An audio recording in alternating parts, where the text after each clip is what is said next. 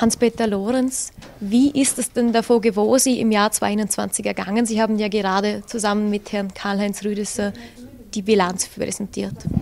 Ja, wir können auf ein erfolgreiches Jahr 2021 zurückblicken. Wir hatten einen Bilanzgewinn von 6,37 Millionen Euro den wir jetzt nicht ausgeben, sondern den wir wieder reinvestiert haben für die Errichtung äh, bzw. den Ankauf von äh, Grundstücken bzw. für die Errichtung neuer Wohnanlagen.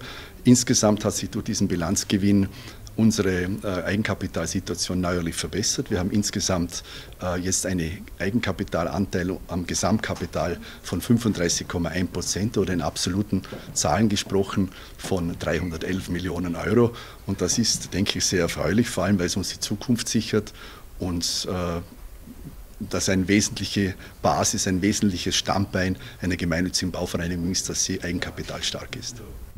Es konnten auch viele Projekte umgesetzt werden, ob das jetzt den Neubau angeht oder die Sanierung. Was waren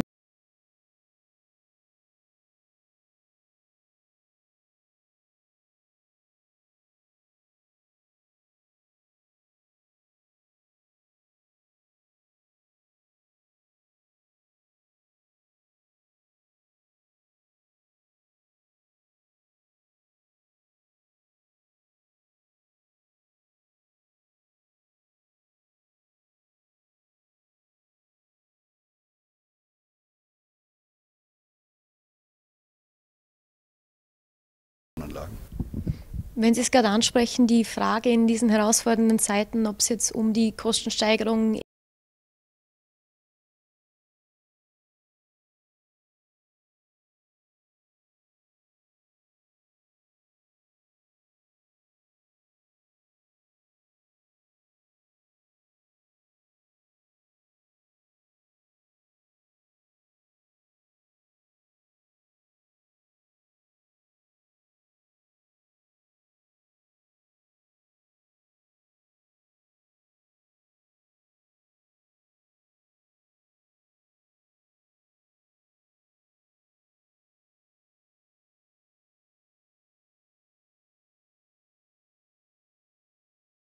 Werfen wir noch kurz einen Blick in die Zukunft, wenn wir jetzt Ende des Jahres 2022 stehen. Was ist denn geplant und wie sieht es mit dem Punkt Einsparungen möglich